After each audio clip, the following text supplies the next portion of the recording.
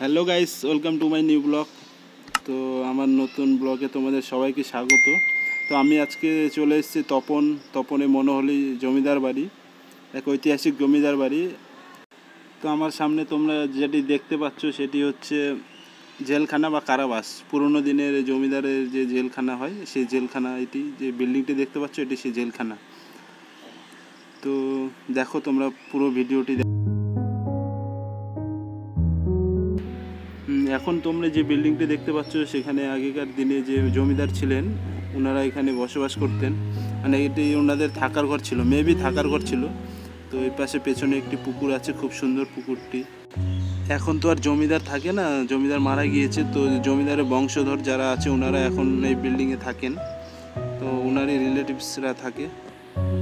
এবার তোমরা যা দেখতে পাচ্ছ, এটা একপাশে মন্দির, এটা মন্দির এখানে মা ইচ্ছাময়ী মায়ের পুজো হয় এবং সাথে দুর্গা পুজো হয়।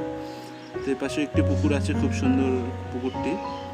দেখো ভেতরে তোমরা দেখো, ভেতরে একটি দুর্গ কাঠামো রাখা আছে, দুর্গা ঠাকুরের কাঠামো রাখা আছে। তো ওখানে দুর্গা পুজো হয়। আর বিল্ডিংটি দেখো পুরো বহু, অনেক দিনের পুরনো, তো ইট অনেক খসে পড়েছে।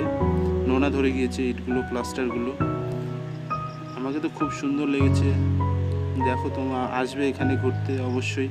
সময় পেলে সবাই ঘুরতে আসবে এখানে। আমাকে তো বিশেষভাবে এই বিল্ডিংয়ের ডিজাইনটি খুব সুন্দর লেগেছে। তো দেখো তোমরা পুরোনো দিনের ছাদে কি, কীভাবে করা হতো, কি ইউজ করা হতো, লোহা দিয়ে কীভাবে ছাদ বানানো হতো।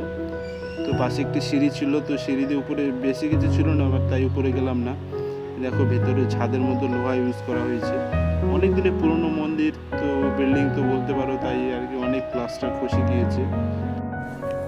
ফ্রেন্ডস বাই তো আমরা এখন ফিরে যাচ্ছি রায়গঞ্জের উদ্দেশ্যে। তো বাই এরকম ভিডিও পেতে আমার পেজটি লাইক করো ফলো করো শেয়ার করো, সাথে সাবস্ক্রাইব তো অবশ্যই করবে। বাই